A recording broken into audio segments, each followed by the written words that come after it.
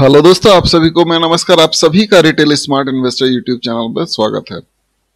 दोस्तों, आज हम लोग इस वीडियो में बात करेंगे एच बैंक लिमिटेड के बारे में।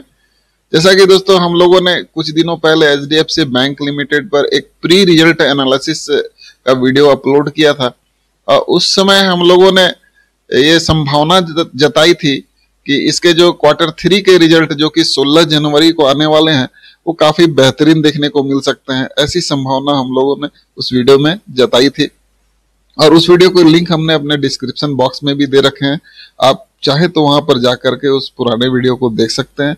लेकिन अब दोस्तों, आज 16 जनवरी है और एच बैंक अपने क्वार्टर थ्री के रिज़ल्ट हम इन्वेस्टरों के सामने लेकर के आ चुकी है।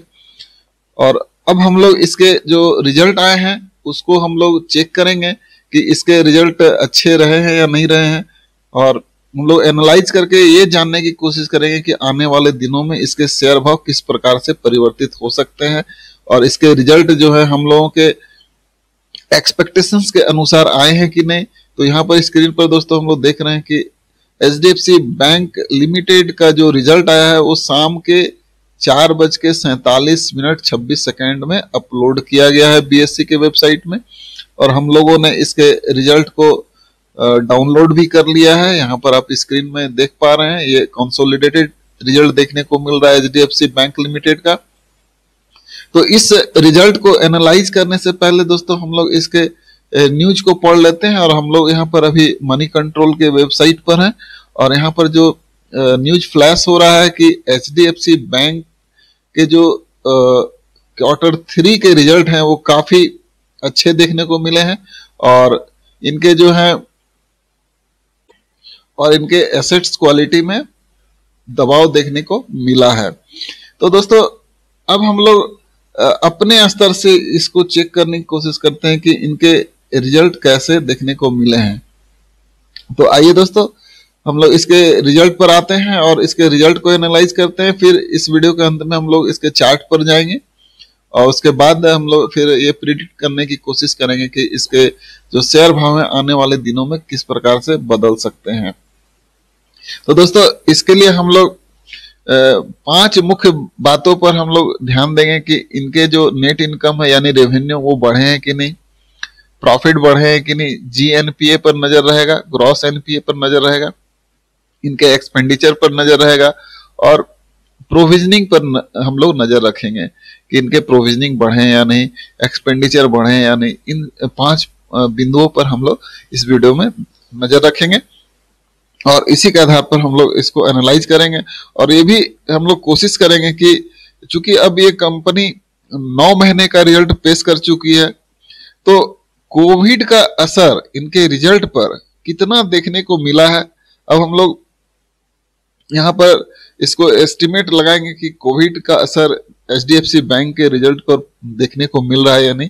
उसके बाद ही हम लोग इसके प्राइस को एनालाइज कर पाएँगे कि आने वाले दिनों में एच शेयर के भाव किस प्रकार से बदल सकते हैं। तो सबसे पहले दोस्तों चलिए हम लोग इसके रिज़ल्ट का मिलान कर लेते हैं। तो यहाँ पर दोस्तों अगर आ, हम लोग इनके रिज़ल्ट को देखें तो इस साइड में देखिए। ये राइट साइड में नाइन मंथ्स इंडेड रिज़ल्ट देखने को मिल रहा है और लेफ़्ट साइड में क्वार्टर इंडेड रिज़ल्ट देखने को मिल रहा है। वो सारे फिगर दोस्तों ये लाख में है। मैं फिगर को करोड़ में बोलूँगा। तो दोस्तों, इनके अगर इंटरेस्ट अर्न को देखा जाए तो हम लोग यहाँ पर देख रहे हैं कि इंटरेस्ट अर्न जो है इनके क्वार्टर ऑन क्वार्टर बेसिस पर बढ़ते हुए देखने को मिल रहे हैं। और अगर हम लोग ईयर ऑन ईयर मिलाएँ तो यहाँ पर भी हम लोग इसके फिगर को बढ़ता हुआ देख रहे हैं। तो हम लोग ये कह सकते हैं कि इनके जो इंटरेस्ट अर्न है, वो न केवल क्वार्टर ऑन क्वार्टर बल्कि ईयर ऑन ईयर हम लोग बढ़ता हुआ देख रहे हैं। अब चलिए दोस्तों, इसके टोटल इनकम को हम लोग मिलाते हैं।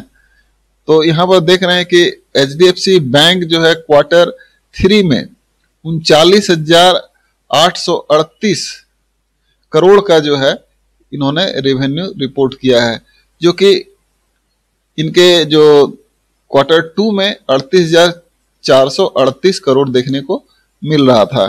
तो इनके quarter on quarter net income में हम लोगों को तकरीबन 3.64 परसेंट का ग्रोथ देखने को मिल रहा है।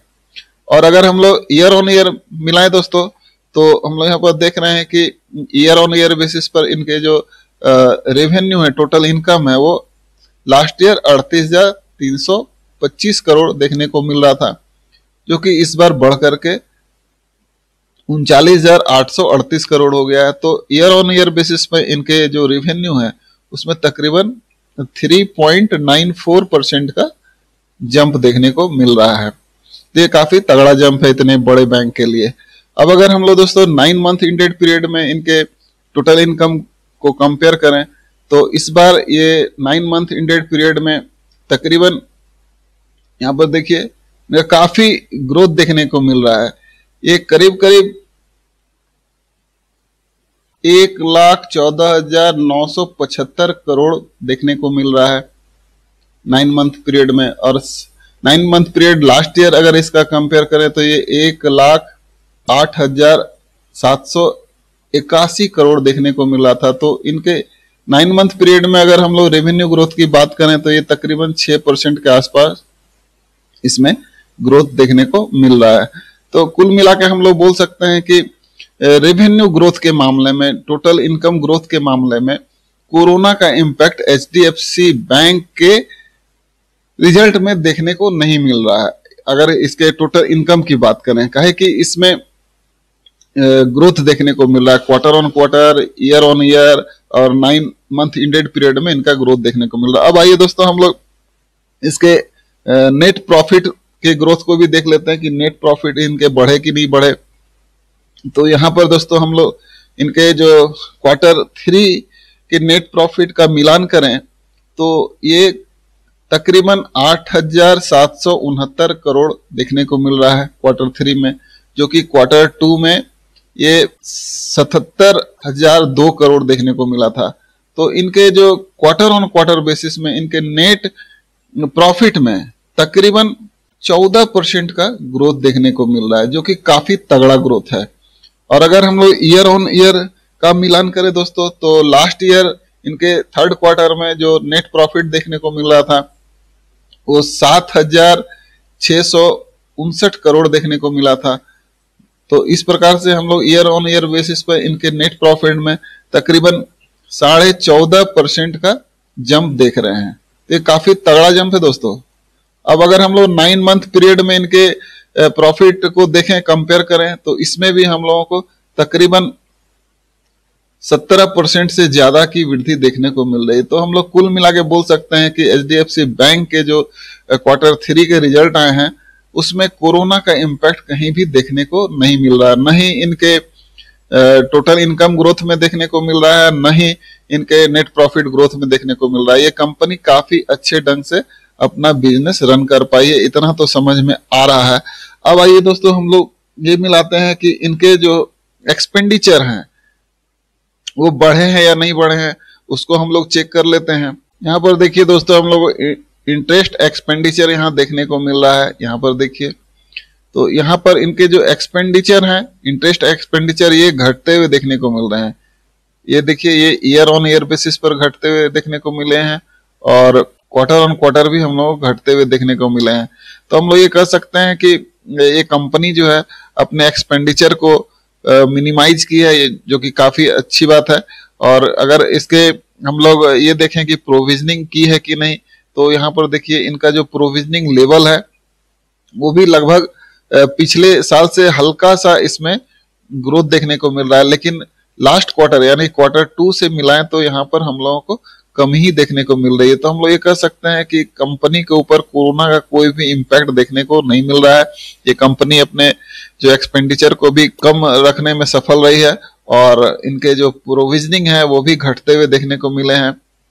अब आइए दोस्तों दोस्तों, इसके जो एनपीए हैं वो बढ़े हैं या नहीं, उसको भी हम लोग चेक कर लेते हैं। देखिए दोस्तों, हम लोग जी एनपीए देख रहे हैं यहाँ पर।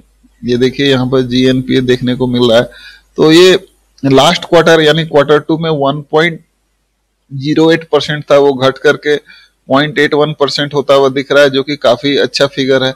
और आइए दोस्तों, अगर लास्ट ईयर इनके इनके क्वार्टर थ्री के रिज़ल्ट से हम लोग मिलाए तो लास्ट ईयर इनके क्वार्टर थ्री में जीएनपी 1.42 परसेंट था। तो इसमें भी हम लोग गिरावट देख रहे हैं, जो कि काफ़ी अच्छी बात है।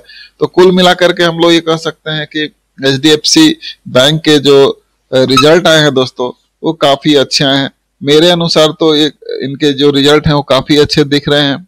अब आते हैं, जब इनके रिज़ल्ट अच्छे आए हैं तो हम लोग इसमें किस प्रकार के इनके शेयर भाव में उछाल देख सकते हैं या गिरावट देख सकते हैं? तो दोस्तों, अभी तक हम लोगों ने ये जाना है इस वीडियो में कि जो एच के क्वार्टर थ्री के रिज़ल्ट आए हैं, वो हम लोगों ने जैसा एक्सपेक्ट किया था, उस हिसाब से काफ़ी शानदार देखने को मिल रहे हैं। तो हम लोग कहीं ना कहीं ये मान करके अब चलेंगे कि इन स्तरों से अब ये स्टॉक जो है, ऊपर निकलने की कोशिश करेगा। और आने वाले जो क्वार्टर हैं, यानी क्वार्टर फोर उस समय तक ये स्टॉक जो है, तेज़ी में जाता हुआ हम लोग देख पाएँगे, ऐसा हम लोग उम्मीद कर सकते हैं। चूँकि इसके रिज़ल्ट अच्छे आए हैं। तो मेरे हिसाब से इसके रिज़ल्ट को हम लोग ओके कर देते हैं। बाकी आप अपने हिसाब से इसके रिज़ल्ट को खुद एनालाइज करेंगे। मेरे हिसाब से इनके रिज़ल्ट ओके हैं और मेरे हिसाब से आने वाले क्वार्टर तक इसके जो शेयर भाव है वो हम लोग धीरे धीरे ऊपर की ओर जाता हुआ देख पाएँगे।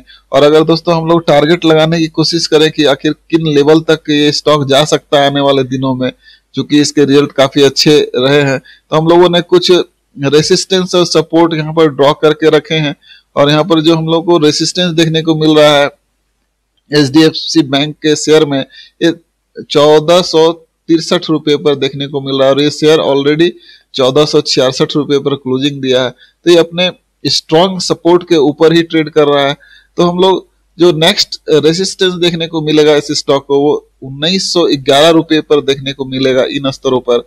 तो हम लोग आने वाले दिनों में एच बैंक के शेयर भाव को उन्नीस सौ के आसपास जाकर के ट्रेड करता हुआ देख पाएँगे।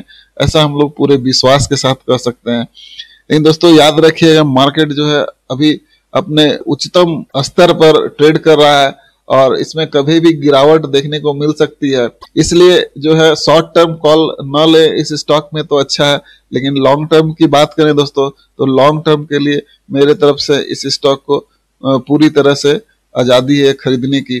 और आप अगर इसमें थोड़ा थोड़ा एस मोड में खरीदारी करके चलते हैं तो ये स्टॉक लंबे समय में आपको काफ़ी अच्छा रिटर्न दे सकता है। तो दोस्तों, आपने अभी तक मेरे वीडियो को वॉच किया, इसके लिए आपका धन्यवाद। और मुझे उम्मीद है कि आप मेरे नेक्स्ट वीडियो का इंतज़ार करेंगे। तब तक के लिए आप सभी को मैं नमस्कार।